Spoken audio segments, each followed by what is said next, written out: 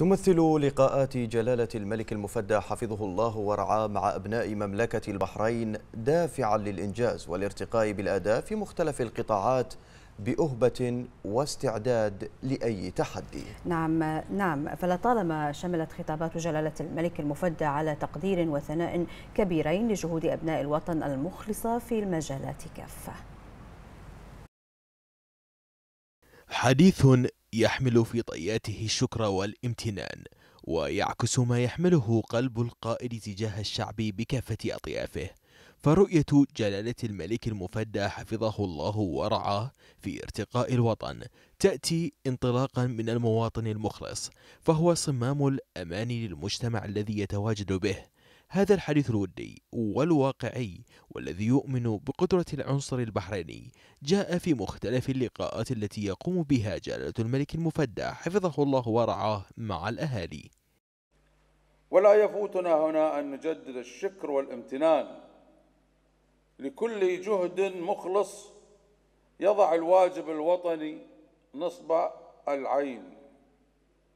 والذي يمثل في تقديرنا صمام الأمان وركيزة الاستقرار لمجتمعنا المتسلح بثوابته الوطنية وقيمه الأصيلة التي ترتقي بأدائه وتجعله كما عرفناه متأهبا ومستعدا ومتيقظا على خطوط الحماية لسلامة الوطن ووحدة صفه.